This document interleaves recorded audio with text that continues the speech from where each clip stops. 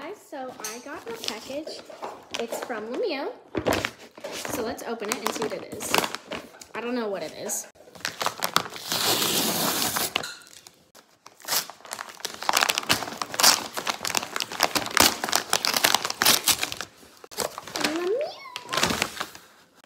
Okay, let us see. Ooh, I don't know what it is. Okay, so they're stirrups.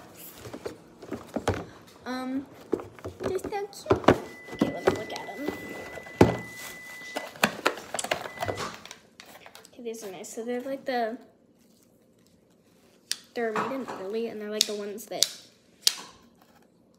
they're cool. Bye guys, see you next time.